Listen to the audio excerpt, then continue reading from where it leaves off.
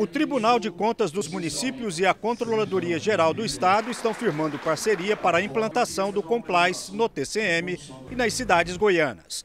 O conjunto de medidas visa melhorar o desempenho na administração pública. O Complice está sendo implantado também em diversas áreas do governo de Goiás. O foco são quatro principais ações: fomentar a ética, transparência, responsabilização e gestão de risco.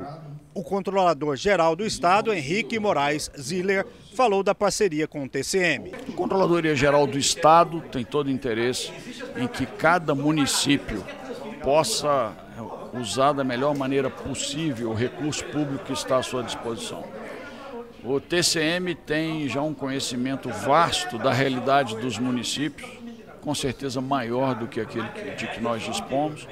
E essa parceria, essa união de forças, pode resultar, sem dúvida nenhuma, na qualificação, eh, no melhor desempenho da gestão pública nos municípios do estado de Goiás e, com isso, melhorar a vida do cidadão nós temos também que fazer essa prevenção interna para que não, não, não se gaste dinheiro público com aquilo que, que, que não vai atingir o objetivo do órgão e, por outro lado, também aquilo que foi investido, você tem um acompanhamento que está sendo bem investido também.